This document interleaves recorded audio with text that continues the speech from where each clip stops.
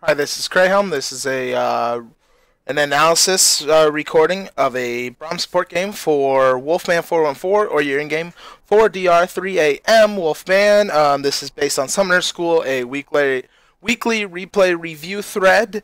Um, you put down um, the specific things you wanted to have addressed was uh, what would uh, what should you do in specific situations, positioning wise, and things like that. Um, what you should have built as well as uh, small quirks or bad habits uh, that you may have that you uh, want me to point out. So that's what I'm going to go into is the specific game right here. So when it says a support, um, one of your biggest uh, things that you want to do is understanding that the game, of course, has the two faces. You know, I'm assuming that you know a lot of game, basic game knowledge as well as, you know, meta and whatnot, or you know, just how the game works, you know, champions and whatnot, assuming based on how you've played and things like that, and how you put gold for and whatnot. So you want to always look at your AD carry first, right? At least for laning. So there's laning and then there's the rest of the game. So for your laning phase, you want to think about what your AD carry is. So Jinx. Jinx is a very later, mid to late game hyper carry, not so strong in lane. There's different reasons, but you can kind of look them up. Like Q, the fact that she has that steroid, the minigun later on, as well as the long range of her Q auto attack, makes her very strong late game, as well as some scaling. Early game in lane, she has some mana troubles. She's squishy. She doesn't have much mobility, which puts her in a very dangerous spot. So her goal is to get out of lane, not necessarily to get kills or fight a lot in lane. This game will be a little bit weird. I don't know if you see the scoreboard right now. We're already at 18 minutes. She's 6-0, so Yes, very um, different than most uh, times you'd play with her. We'll look at their team, their, their bottom lane. So we have Caitlyn. Caitlyn very vanilla, just above average the entire game long, which means whatever her support is, is what makes the difference. If you have questions on why these champions are this way, I can let you know uh, why Caitlyn's very vanilla and above average. Kennen. Kennen is kind of Braum, but early game version. His Q is longer range. He has a long stun as well as his abilities do some burst damage. He's looking more for kind of kills in lane, um, as well as his ult at level 6 makes him quite strong as well. Later on, he is not as good as he can only stun one time, and that's it. Versus Braum, of course, you get your passive on all five people, and other people help you with it. Versus him, he needs to use his abilities on the specific champions. Um, his ulti does not have its own specific stun like Braum, but rather it works on his passive. So you do not want to, with the Kennen being early game, you being in a later game compared to him, you do not want to fight a lot in lane, as well as Jinx doesn't want to. So understanding that, that's how you look at the lane, that's how you should play the lane.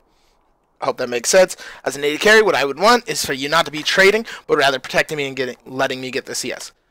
I don't like to talk about the small things, the micro game as much. I, I want to give you something that applies to later on other games, going further. So I'm not going to go over most of the time the laning phase because ganks make it so different. Being ahead or below, like it really doesn't matter as much because maybe one game your Jinx will go 6-0, maybe they'll go 0-6, sometimes it'll go 0-0, sometimes it'll be 1-0, and it all depends on ganks. But the later game is really what matters and makes the difference, and that you can actually learn and apply over and over and over, kind of a thing. So I'm actually just going to completely jump past the laning the laning phase and move forward. I believe I gave you enough about that. So um, I'm actually going to stop for a build right now. We're going to look at it. So laning usually will end sometime between 15 and 20 minutes is usually nowadays the su your support items will actually be your core will be finished. Your core, at least Braum right now, will be as you have face of the mountain, tier 1 or tier 2 boots, okay? And then usually a sightstone you have a Giants belt. I believe that is your mistake. You need to get wards out there. We look on the map right now. Your team has one ward. Oh, I'm sorry. There's another one in this bush. So, two wards. Oh, there's a third in the pink. Okay, I'm sorry. But either way, you guys don't have enough vision to really see a lot of people on their team. Right now, if we do Fog of War for red team, we see a Kennen and a gang and a uh, Garen. No vision around any of this. This is all dark.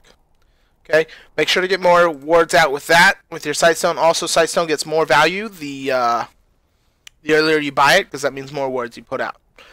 Um, now I'm going to show you why you want to get the sightstone really quick. Is wards save lives. Okay? Right now, your Jinx 6-0. Yeah, your Poppy's 7-0, but your Jinx is your AD carry who's fed. Sit on her, keep her alive. In this case, you're going to see her die. She's kind of dumb, and you guys don't have vision. So follow the Jinx and follow the Vi. Right now, we're following the Vi. You saw her a little bit, but you don't know she's coming until, like, right here. Okay? And sadly, Jinx doesn't realize or doesn't know what Vi is doing. But if, if you saw her from the... This is, this is, I mean, I'm just picking a small thing that happened in this game that really shouldn't have happened, but also you can apply to later on by buying a Sightstone. But so Jinx, your fed person, is gonna die because of that positioning and not vision and whatever else you want to attain it to. You had this, but I mean, you know, you see it for like half a second. You know, she walks right here. But um, yeah, that's warding a part of the item build that I would go into, as well as I'll go into more in a little bit. I'm gonna get into the big part of your job as Braum now. You're more utility and defense and protecting and kiting. Your job is not too much to be frontline and going forward and making plays. You want to be someone who initiates, makes plays, frontline kind of thing. Pick a Leona, an Annie, a Morgana, a Sona, maybe even, um, and actually go for it. Don't pick a Braum. Braum, his Q require is not a Morgana stun. It requires someone else to help you. Someone else needs to auto, right? to get that, or you need auto four times.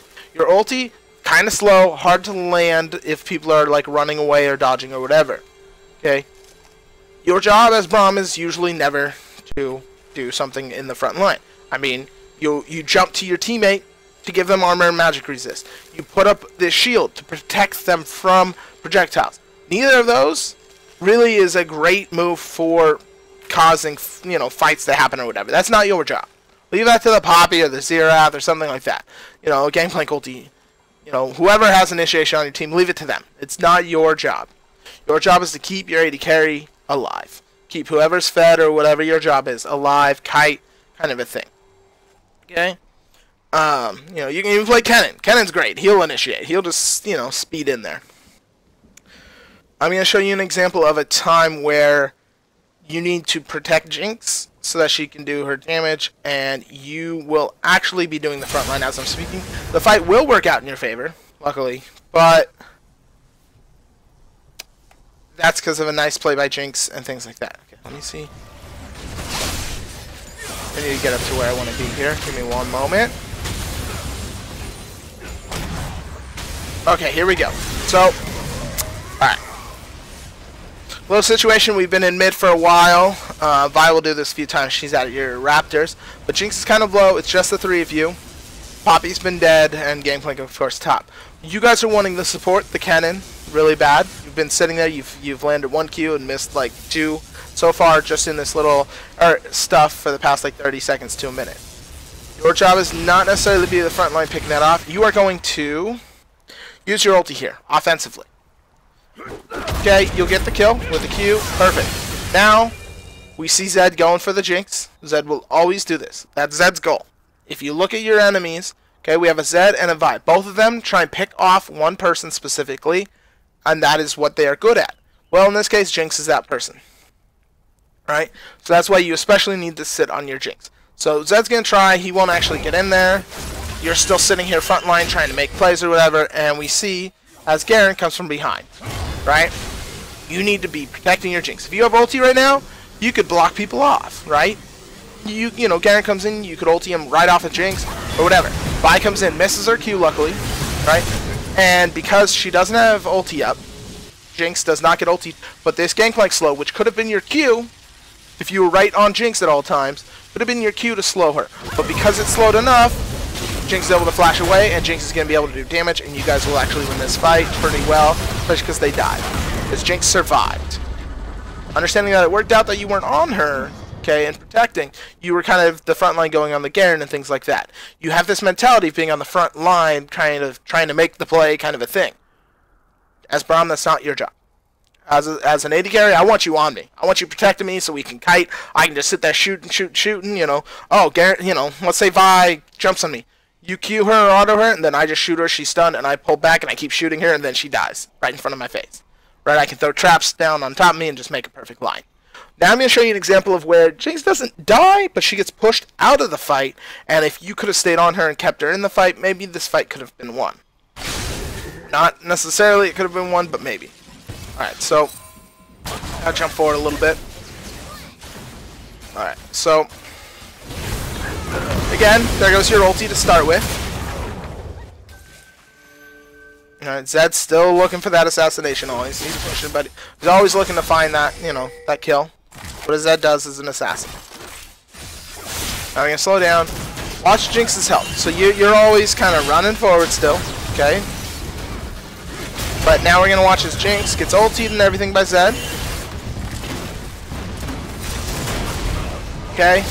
Now Jinx is gonna survive, but she's gonna have to recall. Okay, so she's gone. Almost as if she died. Now we're gonna watch Garen's health. Here comes the turnaround damage you guys try and do. He's losing nothing.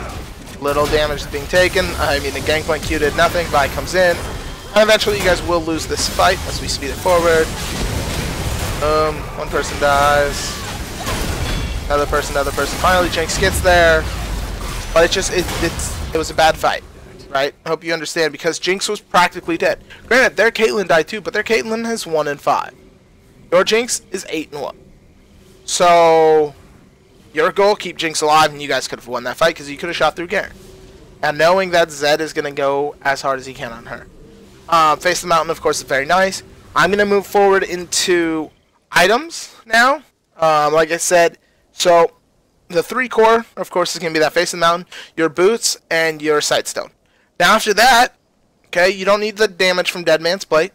Okay, again, your job is not to be a tank when you have a Poppy and a Gangplank. You do not need to be a tank frontline. You don't need to use your ulti forward. You don't need to Q. You don't need to make the plays. You need to protect, which a really good item for that is going to be Mikael's, especially when they have an assassin like Zed, where you need quick health shields. Face of the Mountain and Mikael's probably would keep Jinx alive from anything that Zed would throw at her, at least as the first round of burst. That's what I would want out of my support is Mikael's and Face of the Mountain. That would be amazing as well as you just sit there, ulti when Vi comes on me, you know, or Garen, keep him back, I can shoot. My favorite thing will always be just to shoot. So let me shoot. If I can sit there with right click rolling, we'll win pretty much any fight. Especially later on, hyper carry Jinx who is fed. Um, I'm going to give you a nice example of how you know exactly how to protect. You know, you do it great. Um, and, but it was on Tirath. so, Vi again is going to look for the, the fight. Let it catch up. This is not actually what's going on. Okay, so Vi's looking, of course. Okay, you've got your ulti up, which is perfect. Okay, now we've got ulti as Vi goes, goes on. So now there's plenty of room right? We got the slow, people are shooting. Look at that. Zed's got plenty of room. It's great. You ulti to protect. It's amazing. It's exactly what you need to do with Jinx at all times. So a lot of time you can just sit next to Jinx and be happy. Like, especially because they're going to come in on her because it's Zed and Vi. There's different reasons why you guys will lose this game, but like I said, I'm looking for things that apply to later on and apply to your question. So I would have gotten Mikael's in this situation, not care about tank when you have tanks, uh, especially when you're Braum. Um, I understand Braum seems tanky and whatnot. That's not exactly his job. Um, at least as support, his build, his, abilities are not meant for for tanking. Actually, um, he his passive is meant for having a teammate there. Kind of like the support version of Kalista. You need your teammate around to actually do things. He does not get all four procs on very easily at all. His passive, and that's like Braum's thing. Hope this helped you. If you have other questions or other uh, replays you want me to look at, I'd be really happy to do that. Um, of course, anything, any questions or anything you're worried or wonder about this uh, video or you think, you know, you disagree with or don't understand, please, please let me know. Hope this helped you a bunch. You have a good one.